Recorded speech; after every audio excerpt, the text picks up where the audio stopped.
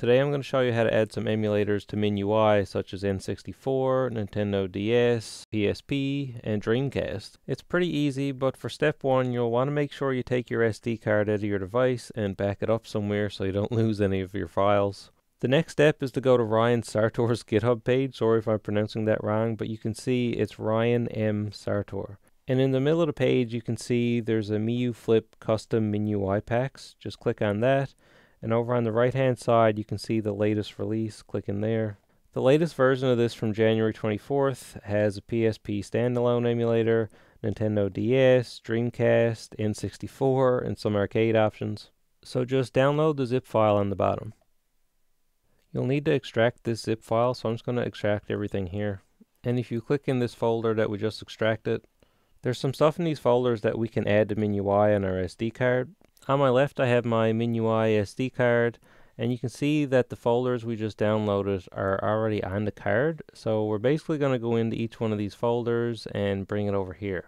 The first one is user data so go in here and then my355 and there's the file here so we're going to do the same thing on the SD card and drag that file over.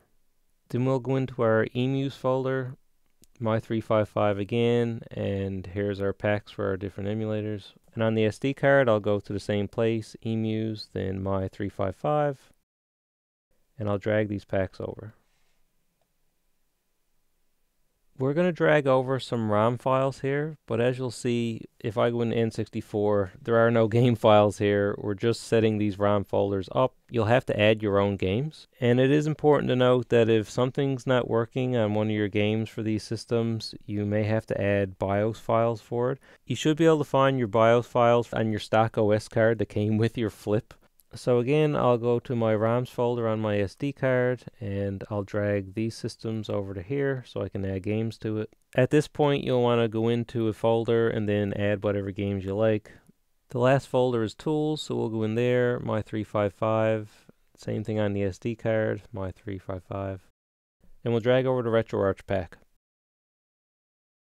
Now that we have everything dragged over to where we need it to be, we can put the SD card back in the Miyoo Flip this is a version 1 flip, so I'm putting my SD card on this side, but it's worth noting that if you have a version 2, you should put your SD card on this side, whichever side reads the card. You can see I have N64, Nintendo DS available, there's PSP, and Dreamcast. Your game should be pre-configured, but it'll be just like stock OS, where not every game from these consoles will work just fine. N64 was running in RetroArch, but you can see in an emulator like Nintendo DS, if I hit the menu button, I'm in a standalone emulator. So there's some different options that you can customize in the menus of that, such as switching the screen by hitting this back button here. But pretty standard stuff you can look through. Anyway, hope you found this helpful. Like and subscribe, and I'll see you in the next one.